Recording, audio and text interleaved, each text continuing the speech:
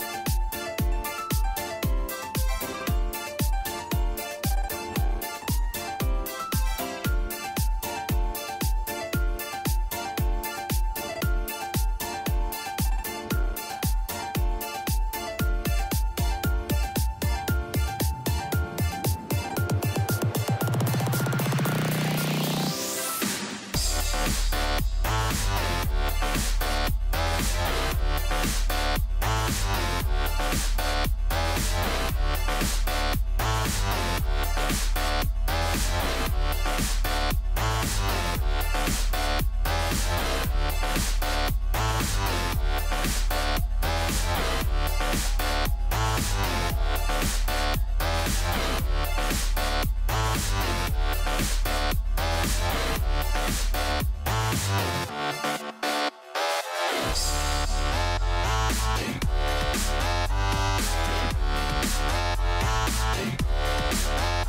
back.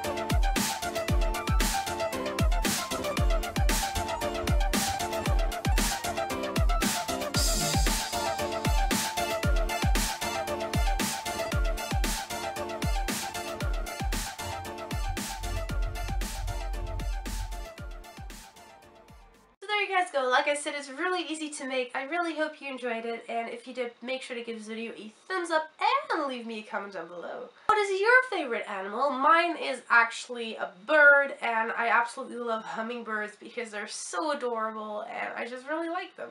But I really love birds in general, so what's your favorite animal? Don't forget to share this video with your friends, it helps me out more than you realize. And don't forget to subscribe to my channel because I make new videos every Monday and Thursday, and I would love to see you again then.